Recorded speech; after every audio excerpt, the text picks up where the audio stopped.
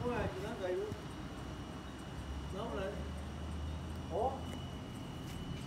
Đó thì sao vậy?